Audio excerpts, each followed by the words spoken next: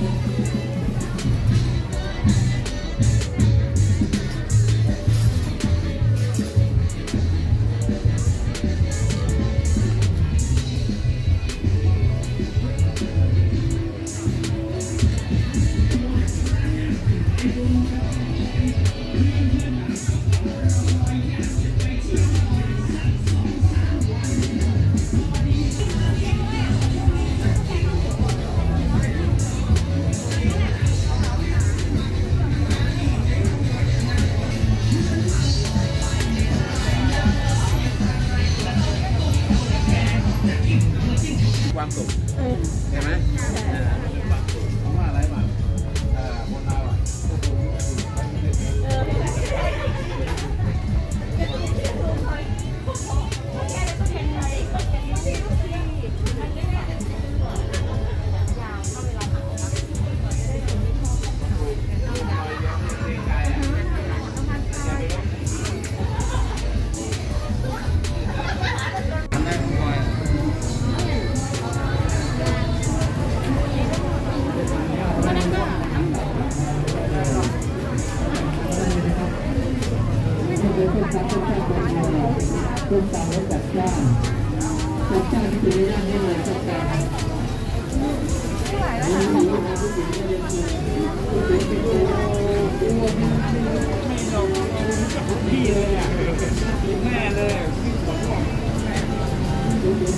Thank you.